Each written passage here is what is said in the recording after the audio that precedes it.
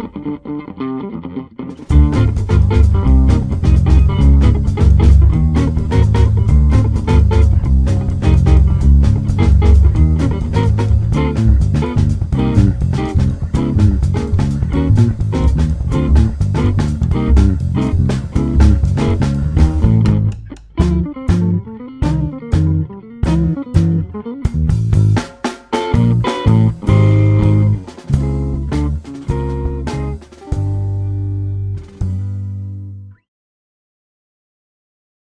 show is called Systems Process, and it's my first solo exhibit.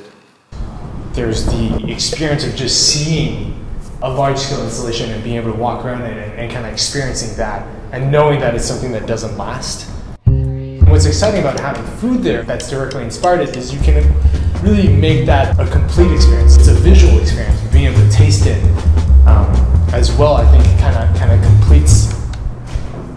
the, whole like sensory just makes it a much fuller experience. I would like the food to enhance the idea of being in the moment. You're seeing the art in conjunction with the food you're tasting, and vice versa. You're tasting the food while seeing the art, and that's that's the package. The balloons are clearly like right there, you know. And I think that's a perfectly reasonable and good observation to have. You know, like that is right there, and like people can be like, "Whoa, those are balloons," and talk about that. And so, for the food, I wanted to mimic in some ways the color. So the bean sprout with this like atomic, beautiful neon color, very much so in that response to the balloons. The, the sprout itself is almost like these flagellum type things that he's got going on on a lot of the balloon pieces. And then the, the peanuts too. Uh, again, like that approachable childlike thing. It's like a circus. Then additionally, it's like you know, it's a balloon, it's circular. And then the dumpling idea in general just came from balloon. Peanuts, hot peanuts. What paper is that? Newcity? it's the reader.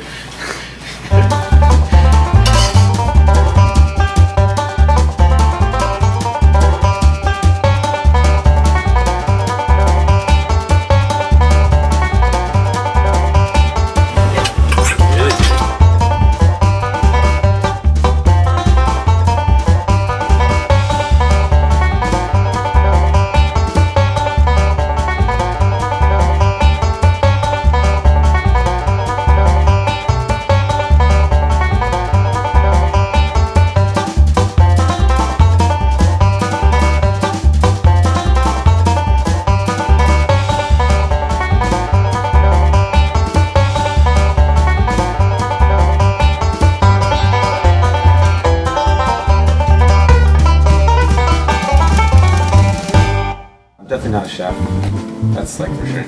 Um, I think that's why I've become more and more comfortable with the term food artist because there's something in the process that, that there is like I'm not trained, I'm not classically trained. It's all kind of just coming. It's, it's very process based. Like there's like it's, it's definitely not chefdom. That's for sure. How did I get into balloon art? I was actually so I was studying as a student at the University of Chicago, uh, studying physics at the time, and I had joined a circus and, and performed as a juggler, and that, that's kind of what I wanted to do for a while.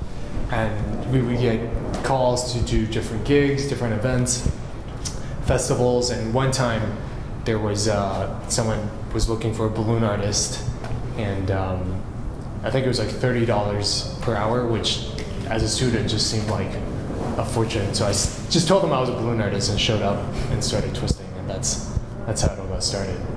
At least, it's, but I, I, don't, I don't do birthday parties anymore. We've got some lovely dumplings that are based on Willy's work. The meat dumpling having Chinese sausage, pork like a tamarind flavor in there.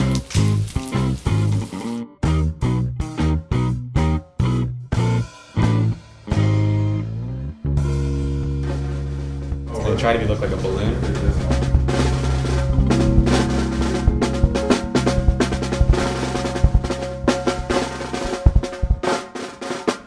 The dumplings? Oh, really? Some sprouts.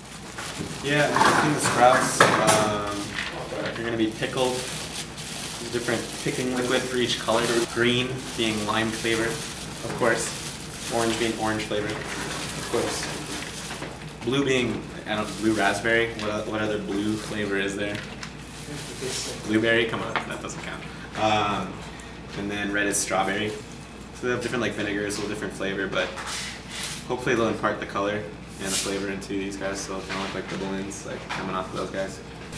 I don't want the pickling liquid to be too hot because I want them to maintain that real crunchy, crispy, balloony feel to them.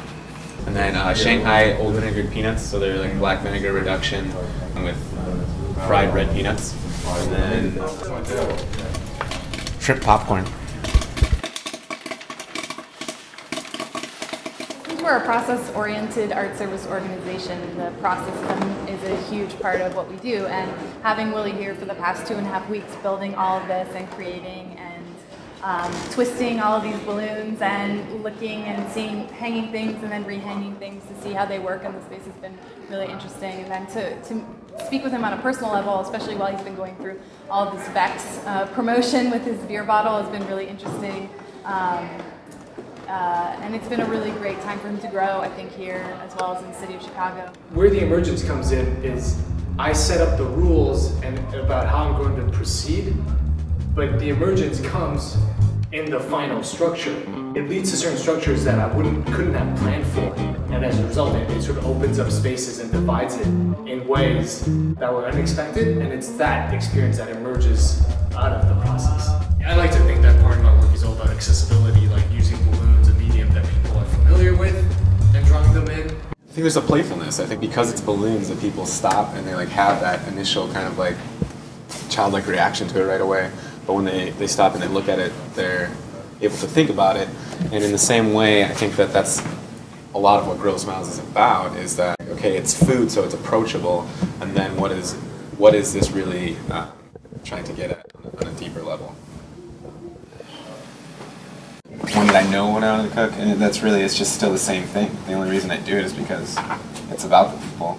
It's about interacting with people. It's about connecting the art to people. And food is like the most universal thing possible. Know? More so than anything, I, I think I'm passionate about people um, than about food. The food is just kind of like a vehicle to connect to the people in some ways.